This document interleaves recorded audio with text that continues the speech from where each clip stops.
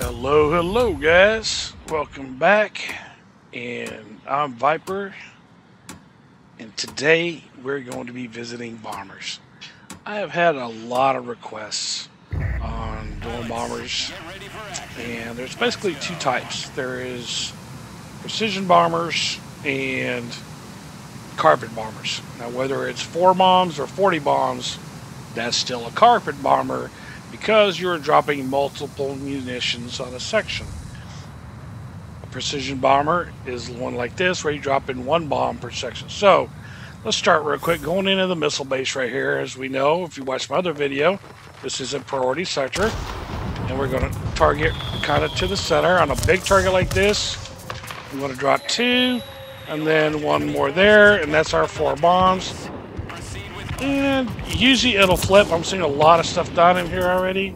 So it may or may not flip. Now, um, it probably won't flip, but no, it did. We got it.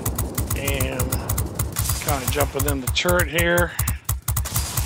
See if we can keep this guy from getting them big 30s on us. Swift wants to play a little bit. I think he's going to have a change of heart here in just a minute. Alright, and my tail's out. I can't really even get straight, can I? Let's see if I can at least drop something here. Alright, my tail's back. I'm going to climb a little bit, get out of some of this foray going on.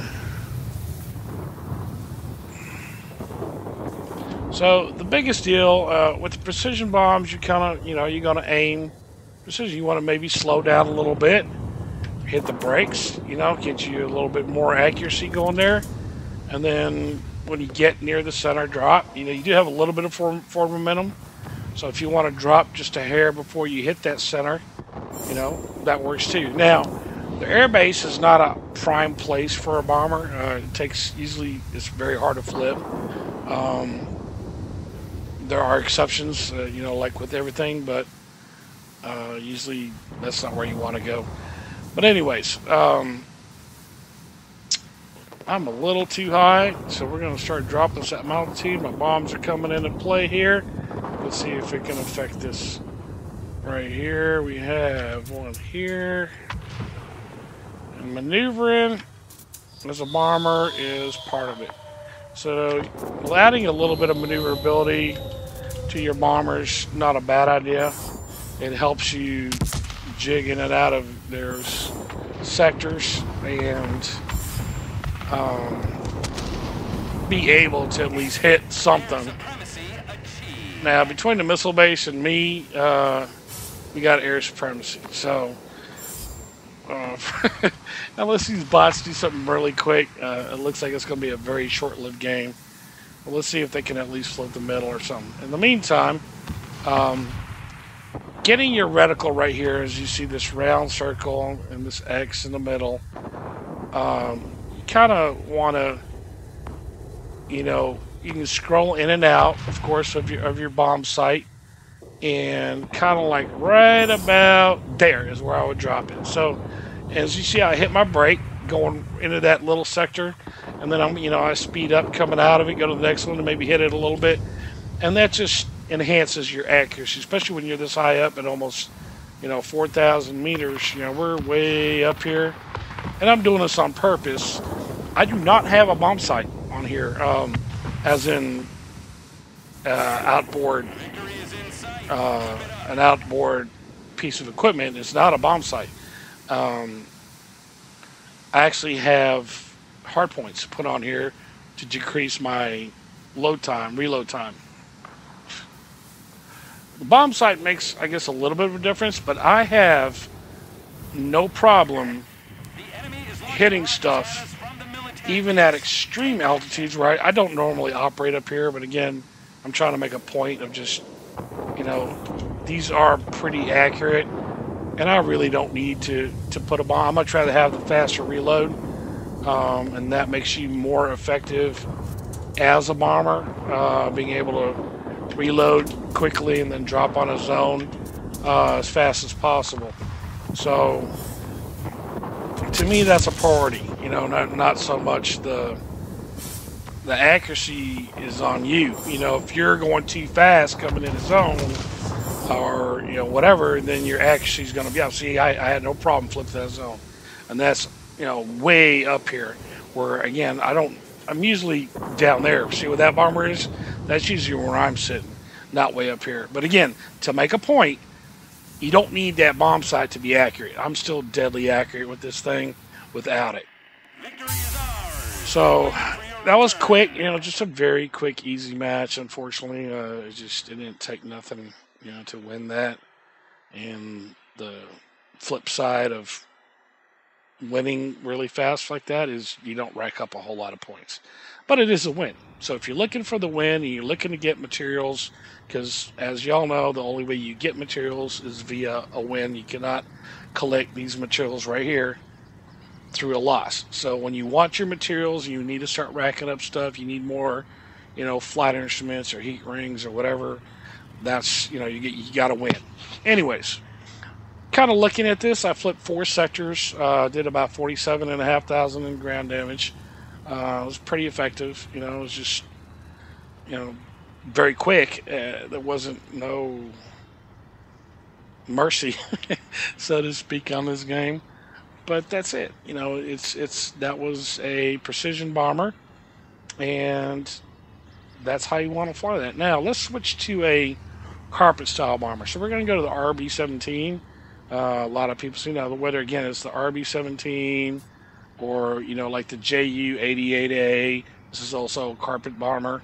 Um, it doesn't matter. You know, it doesn't really matter. It's just uh, these take forever to get around. This will be a lot faster uh, for the purposes of demonstration. And we're going to kind of show you the difference. Now, on a precision bomber, you have a circle uh, with your, you know, reticle in the middle of that circle.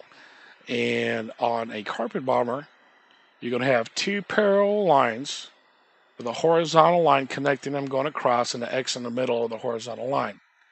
The horizontal line in between the two lines connecting the connecting line is what I call the wall. Okay? So before the wall gets to the sector you're bombing, and now there's a difference between sector and zone. So when I say sector, it could be the AA sector or uh, a building, it's a square of buildings or whatever. That's a sector, okay? So when you're bombing a sector, and the wall of that comes to the front of it, you want to drop before it actually turns yellow. If you're into the sector and it turns yellow when you're dropping, you're too late. You're going to bomb outside of it. Okay? Um, so make sure you are prepping yourself and, and lining up and doing all that before you hit that sector that you're planning to drop on. Otherwise, you're going to miss. I, I promise you that.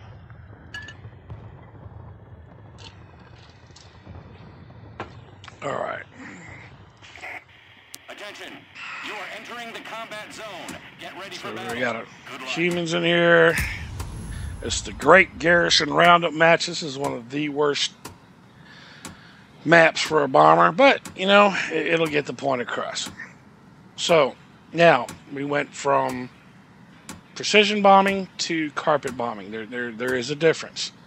And the RB is a little bit of a challenge because it only gets three drops of six bombs per drop versus, you know, four or five or whatever some others. Or like the B 32 that drops bombs across the continent. So there is a little bit of a difference in the way this plays out. So there you see here you have your two parallel lines. You have your line going across and whatever. That wall right here is what you want to...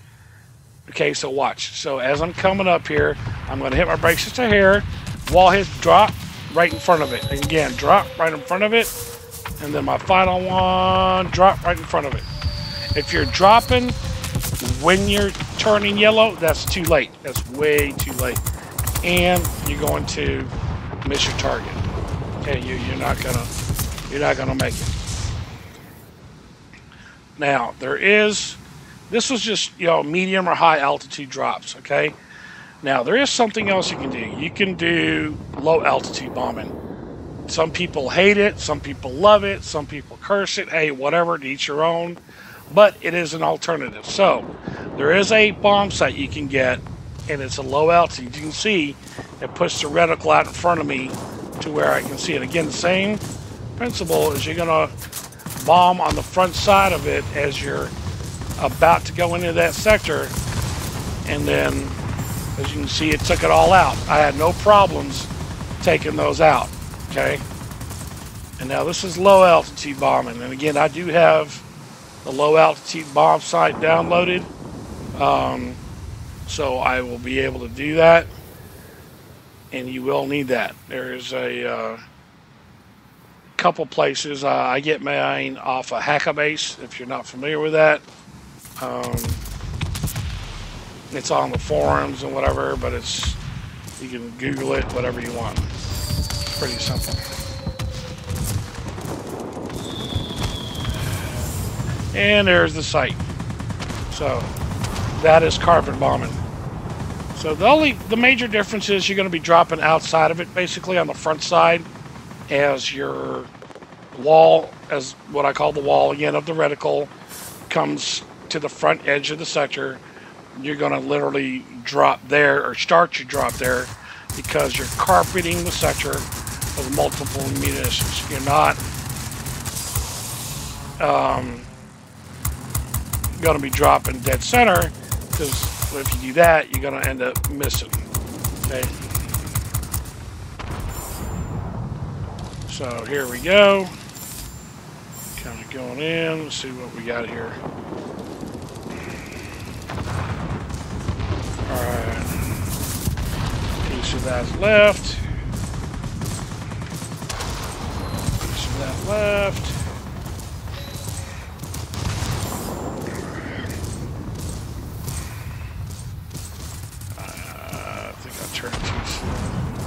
Oh, we got it. Alright.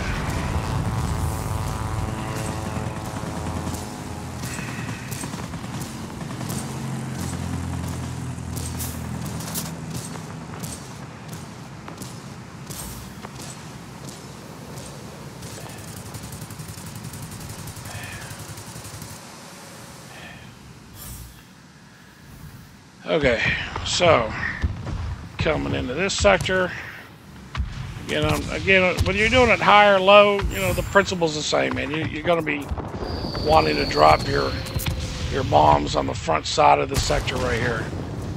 So you drop front side.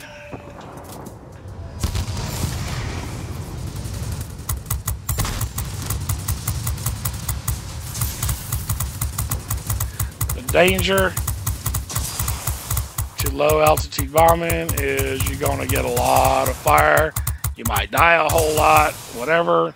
It's fun. It's something different, man. You know, I, I like I said, there's people that criticize it and they, oh, yeah, that's uh, whatever, whatever. Hey, man, teach your own, brother. If somebody wants to do something a little bit different and have fun, that's what the game is about. Playing the game is about having a good time. It's about enjoying yourself. It's about entertainment.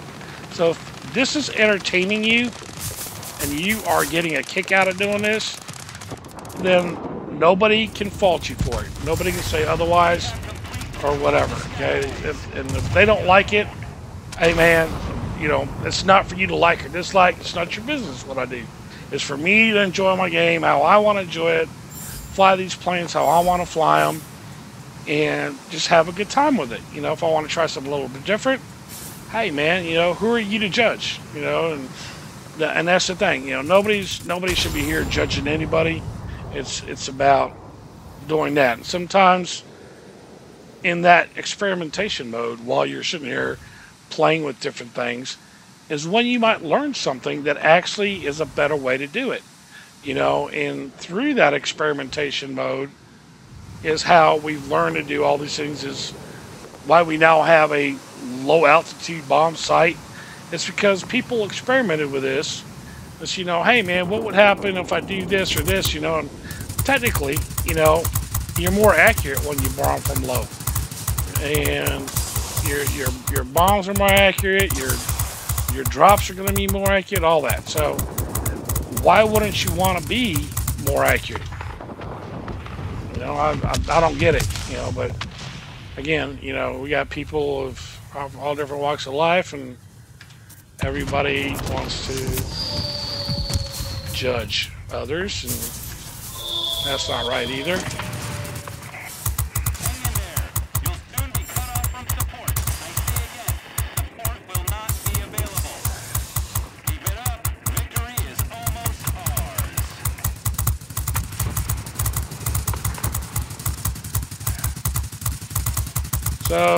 Flying a bomber, you will end up spending a lot of time in a turret, high, low, or otherwise. That's just part of the game. Um, be prepared to die a lot sometimes. You're going to have bad games where I've actually had bot heavies just actually hunt both of them.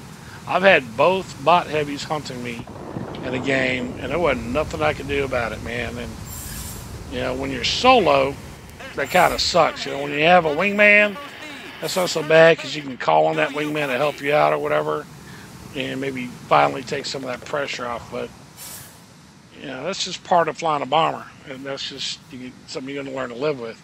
And if you're not going to like it or you don't think that's for you, then you know that's not for you. And there's a lot of people that don't want to fly bombers that, that don't like what a bomber is or what it stands for or how it plays or whatever their reasons are. They just they're not playing bombers, and that's fine. You know that that's again to each their own, and I don't judge, and more power to you. But for those that do and have an interest in diversifying their playing field, uh, kudos to you. Uh, I believe everybody should fly every one of the five different kinds of aircraft available, uh, aircraft types to better uh, understand how the game works. Um, it's only going to benefit you, okay, to understand that. So playing bombers and GAs and multi roles gets you, you know, in a better position to understand how to deal and counteract each one of those. If you've never played them, then you're actually very limited on your own knowledge base and in my opinion, that hurts you. Um, now, I am not a bomber main. I, I know bombers. I, I, can get in them, and I, as you say, I can, I can do my thing, and you know, I'm pretty, pretty good at it. But I'm not, you know, like a super bomber guy. Like we, we all know who they are. I'm not going to name names, and you know, there's some guys in OWSS and Drax and all that that are really, really good bomber guys. Hey, great. Um, I'm not a bomber main. I fly them when I need to. I fly them as a change up to have some diversity. Uh, but, you know, that's what this for. Now, let's cover this real quick. Uh, 67.3 in ground damage, flip five sectors, um, and, you know, did pretty good. It was a very fast game uh, as far as that's concerned. And, you know, didn't have a whole lot of time to score real big money, but it wasn't sad. It wasn't a bad score either. Uh, it, it, did well. So there you go, gentlemen uh, and ladies. There, you, there is carpet bombing. Like I said, whether it's five, eight, ten, or forty, that's a carpet bombing. Whenever you're dropping multiple munitions per drop, that is considered carpet bombing. Whenever you're dropping one bomb at a time, that is precision bombing. Okay, and that's just what it is. Um, I'm not here to argue with anybody. I'm not here to, you know, debate semantics or the English language. So that is how the military puts it. Okay, so that is per the military guidelines as to what they consider and how they classify their aircraft and equipment and everything else. This is the best. Uh, I can do at this point that I know from the questions and stuff that I've received. If there is something more in depth that you guys want to see or understand about, you know, please, you know, message me down below in the comments and, you know, let me know what that is that, that you're looking for. And I'd be happy to you know, get in and discuss that even in greater detail if I have to or whatever, and go into the, you know, quantum physics mechanics of, of bombers if we have to, but I, I, don't think so. But hey, guys, you know this is this is it. Um, you can always rewind this and look back.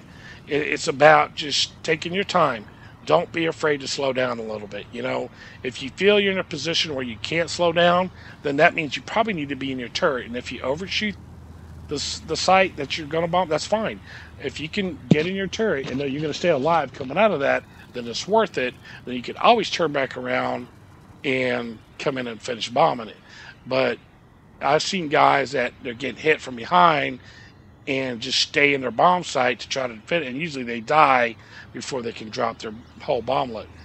Well, that doesn't make sense either. Now you got to wait to spawn and spawn and come all the way back in and whatever, and that kills your game, so to speak, as a bomber. Whereas if you just took out the time to jump in that turret, uh, you could probably either kill or turn around that aircraft that's on you and get them off you. So either way, that's a win, and you're gonna have to learn to do that. You know, pressing that T button, getting in that turret is essential in a bomber. You got to do it. The turrets uh, on these are, get pretty darn strong. Uh, I would say starting at tier seven ish, uh, they're decent. Uh, tier eight and up, they're very strong. As you saw, that RB ain't no joke. As you get up even further, you know the I know the 131 and the SU-10 are absolute monsters at Tier 10 with their turrets. This thing, the SU-10, um, for these who don't know, you have your standard rear turret and you have a top turret. Uh, and if you know how to do it, you can angle up a hair and you end up getting both turrets on whatever's behind you, and you absolutely just melt them with that. So it's got a very, very hard hit uh, set of turrets on this and it's more of a gunship actually than it is a bomber, I believe. The 131 has just a rear turret, uh, but it's very effective, long range, and hard hitting. So the 131s are extremely effective, uh, and if you're vigilant, that's the other thing. You got to be very situationally aware of what's around you, what's coming at you. You know, if you see a heavy coming at you, you need to start maneuvering. You need to start thinking about getting your tail end on them and swinging a turret into, into view, or you're going to be in trouble in a minute. So, uh, paying attention to your mini map that's down in the corner and watching the battlefield unfold is very important. To me, that is probably the most important part of this. You know, dropping bombs is to me a lot easier than trying to keep track of everybody and what's coming at you and whatever. So, those are the two most important factors of bombing vigilance, situational awareness, and just precision. That's all. Ladies and gentlemen, thank you for visiting my channel. I hope you enjoyed this video. Godspeed and God bless.